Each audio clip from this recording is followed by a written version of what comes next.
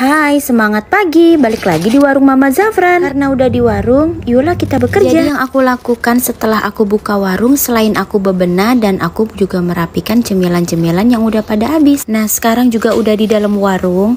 Yuk kita rapikan juga styrofoam ini.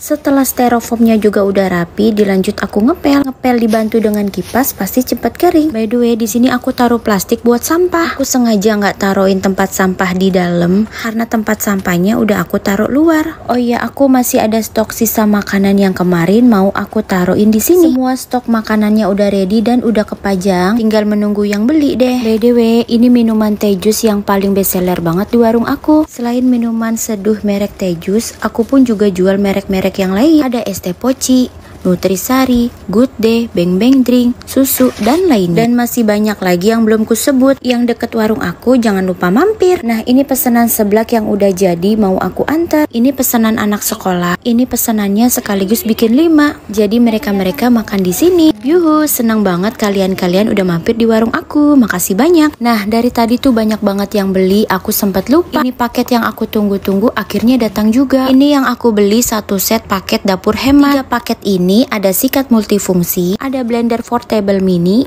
dan ada talenan bulat anti jamur. Tiga paket ini bener-bener bagus dan ini bakalan kepake di warung aku. Karena minyak bawang di warung habis langsung aja aku mau bikin. Tapi sebelumnya blender mini ini udah aku cuci ya. Bawang putih yang udah dihaluskan ini nantinya mau aku masak. Masak hingga matang lanjut angkat deh. Setelah itu lanjut bikin pesenan. Yang mau samaan barang yang aku pakai bisa klik ranjang kuning ya. Lanjut basreng yang tadi udah matang langsung aja aku mau bumbuin. Udah dibumbuin dituang di wadah langsung dibungkus deh.